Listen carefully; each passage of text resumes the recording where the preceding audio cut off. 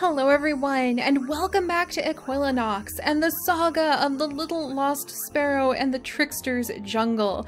This poor sparrow has been holding in there for so long, I don't know how much longer it has left to live, but I want to give it somewhere to roost and I want to give it somewhere that it will hopefully be able to leave behind descendants that will one day become the toucans of the trickster's jungle. And in order to do that, we need to have a jungle to speak of. So today we are going to work on spreading spreading the jungle through this part back here of our world and hopefully getting uh, the tree that we need in order to evolve the sparrows into toucans and that is going to be the canopy tree. So to get the canopy tree we actually need to have larger fiscus trees and we need to have two toads. To get toads we need to have uh, the lizards evolve into frogs, and once they evolve into frogs, you can evolve the frogs into toads. So things are about to get very, very interesting. Oh, is that a little lizard? Oh no, it's a very beautiful tropical flower. Wow, I really like that.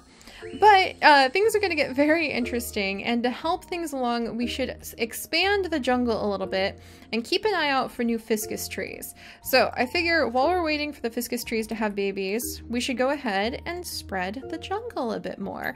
Oh, and the fiscus trees will actually spread the jungle. That is so cool.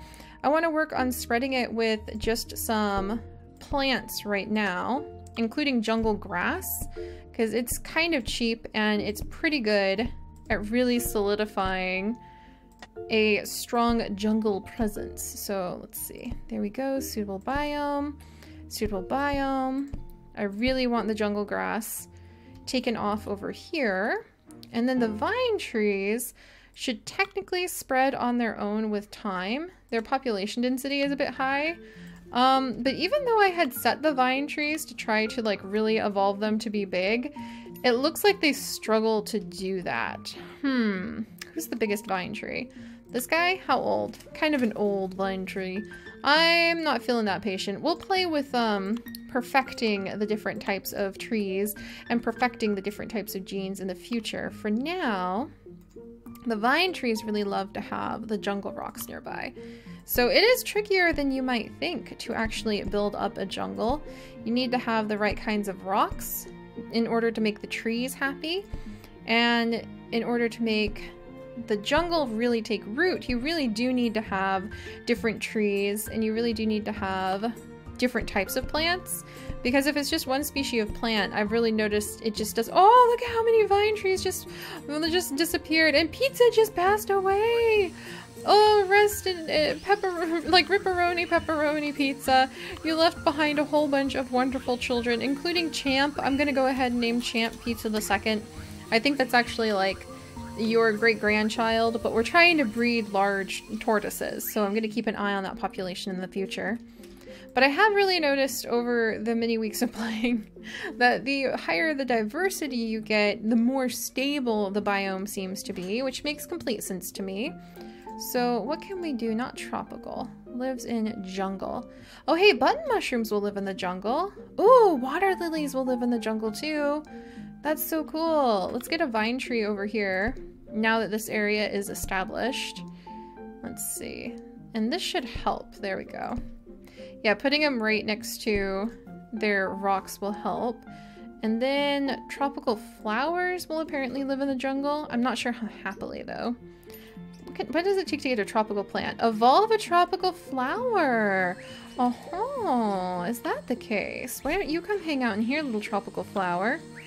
You're perfectly content here. Interesting. Tropical flower doesn't care if it's in lush, jungle, or tropical. Noted. Oh, and it was trying to become Healbloom, and we never did manage to snag that. Oh, and we need some insects. Okay, I did have a whole bunch of tropical flowers that we specifically evolved to make them purple. And watch this, I think we're about to get some Healbloom right here under the banana tree. Whoa, what was that? What is this? What is all this glowing stuff everywhere? What is happening? Is that Healbloom? Whoa! We just evolved Healbloom. Is that what Healbloom is? It's really sparkly. What is this? Cool. Can I see heal bloom, Or is it just something that like bursts and then creatures eat it? Do they do they become healthier from Heal Bloom? How did that work? Heal Bloom unlocked. No requirement. Where is Heal Bloom? I'm so curious. Holly Bush, Berry Bush, Heal Bloom. This rare flower can only be grown in very specific tropical areas and is much slower growing than your regular flower. When fully grown, the plant can be transplanted to another area where it will die and release its valuable seeds. The seeds have healing properties and are of great use to diseased animals. What? So you can grow a bunch of heal bloom and then transplant it, and when it bursts open, it will heal diseased animals? That is so cool! I want to plant another heal bloom. Come down here, little one. You're very expensive, though. Oh, boy. And you like to be up high and in very specific tropical spots. Um, I think 94% right here is the best you're gonna get. No, don't you eat that little turtle. this is our precious, precious heal bloom, okay? It's critically important you don't eat that. The poor lost sparrow will hopefully be able to, to have some at some point. You can increase the editability, you can change the colors. I think it's really amazing as it is. So we'll check in on the Heal Bloom in a little bit. Yay, and look at this! Our jungle is taking root. How are the sizes on the Fiscus trees? Not really getting- oh, oh, oh, oh, oh, oh, oh. oh. We're getting bigger! We're, we've got this, we've got this. Okay, we finally have a Fiscus tree that's big enough. Now we need two toads. It sounds like we're trying to do some sort of potion spell with like a witch cauldron, doesn't it? Giant mushrooms and toads mixed with a heal bloom creates the trickster's jungle. All right, well, let's go ahead and see. Little lizard, little lizard. How do I turn you into a frog? I transplant you to a new life, little lizard, little lizard, or I, because you're very expensive to transplant, just come over and get a new lizard. All right, so here we go, our very first new lizard, a couple of them, living here in the jungle. We cannot change their color, but I have no problem with that, and we can totally breed them into frogs. They're so cute, oh my gosh. Uh, I'm trying to be responsible with my DP and not just spend it willy-nilly anymore. Which is why I'm not trying to change just the size minutely of things any longer, even though it's so fun. Alright. Well, we're waiting for that little guy to evolve. Let's see if our jungle... Look at the jungle! It's spreading! Yes! I am so tickled! Can I put in anything else? What else lives in the jungle? Button mushrooms live in the jungle. Tropical flowers live in the jungle. Vine trees. Fiscus trees. Um, tulips. That's tulips live in the jungle. Go, go, go, go, go. Where's my super rare tulip? There is one of my super rare tulips. I need a younger, healthier specimen. Young and healthy specimen of my super rare, super precious ultra tulip, please. Um, hmm. You're 10 hours old. All those tulips are very old. I need a younger specimen. Here's some younger specimens. All right, my, my precious, absolutely perfect tulip of the purple variety. Will you endure the jungle? All right, you will. You will indeed. All right, come here. You're going into the jungle. This is a purple tulip, which is a strange mutation that just popped up out of the blue. Is it happy here? Oh, look how happy. Yes! We've evolved a frog! The lizards have had a frog child. Oh my gosh. Hi, little guy. Where do I put you? You probably need insects to eat. How do I feed my frog? this is going so fast. Here we go. Look at my tiny little frog. Oh, please tell me I can make it a cool little poison dart frog. Oh, you're so cute. Do you like lily pads? What do I do with a frog? This is so exciting. This really does feel kind of like making magic because it's like now we have magically made a frog appear. To make it a toad, we have to make it very, very satisfied and mud colored. Interesting. So we can change the disease resistance, the speed, the bounce power, um, and how do we make it happy? It likes uh, it likes mushrooms and flowers. Well, I put it down next to a flower, and it likes insects. It periodically attempts to catch and eat nearby insects. Well, we don't have any insects yet, little guy, so you just hang in there. And can I make you... Oh, I can make golden frogs! That is so cool. Alright, we're gonna go ahead and start with mud-colored frogs, but then swiftly change that in a future generation to like cyan color frogs, because that sounds amazing. And then let's actually move one of my biggest mushrooms. One of my big trickster mushrooms. This guy looks perfect. 134. Oh my gosh, he's so expensive to move. Alright, you better spread, like, babies all over the place, please. he died! No! Why? That was so expensive for no reason. Oh my gosh, what do you need next to you? Oh, they prefer to be above 15 meters. And this is too low.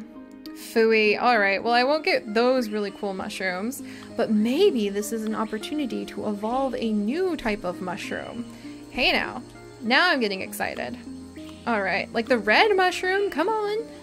Swamp or the tropical mushroom, light blue. Hmm. Let's make this just like a really cool mushroom. Light blue, 126. Or we could make it red.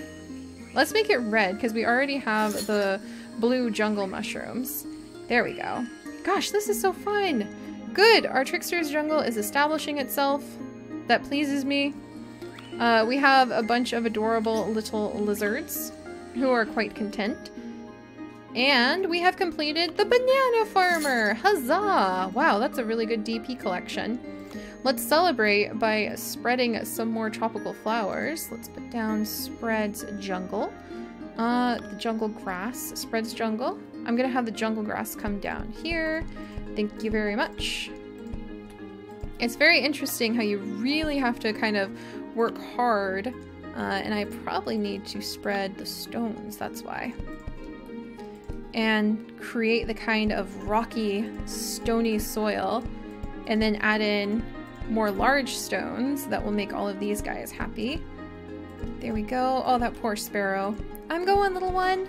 Oh, that's right. We need to see if we can, now that we have the frogs, if we can evolve the tree so that the sparrow can be happy.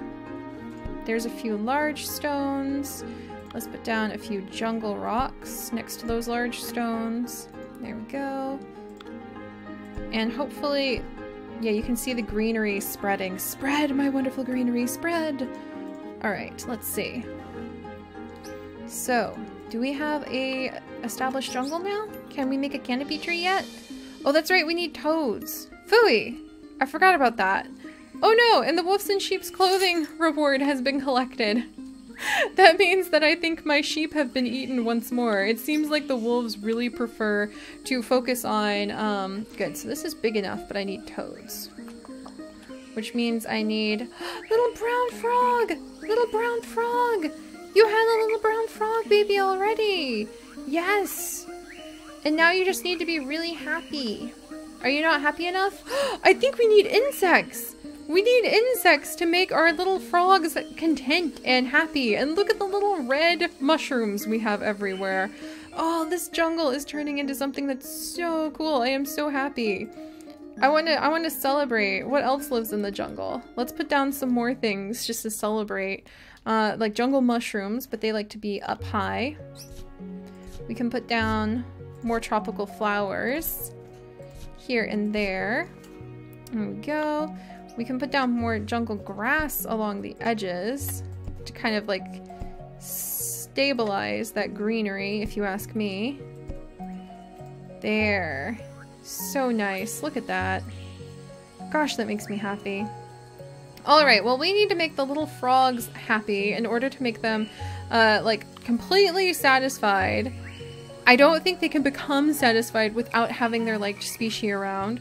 So in order to have given the descendants of the wandering sparrow, who I think has finally passed on, but no doubt its eggs are still hiding somewhere around here, so we will say, uh, a place to land, we need to make the canopy tree, and to make the canopy tree, we need to make uh, the toads, and to make the toads, we need to make insects. So I think it's finally time to slow down for a second and to look, ooh, the mighty jungle, for the butterflies! So we need to get jungle flowers. Based, um, breed some of the higher tier jungle species and add them into your jungle biome to create a dense jungle. This would be the perfect place for some insects to live. So we need to unlock the butterfly, and that will lead to catching butterflies and the flutterby. that reminds me of something my beloved Chips used to say when we would go on dates early on. Whenever we'd see a butterfly, he'd be like, you butterfly away. And it was just so funny and cute. Oh gosh. Uh, but we'll work on the flutterby quest as well. So we need to get some jungle flowers. And to do that, we just need to evolve some jungle grass. The heck? That easy! Alright! well, when we come back next time, we will continue to keep an eye on our tiny toads and hopefully make them very content by uh, getting some jungle flowers pretty soon.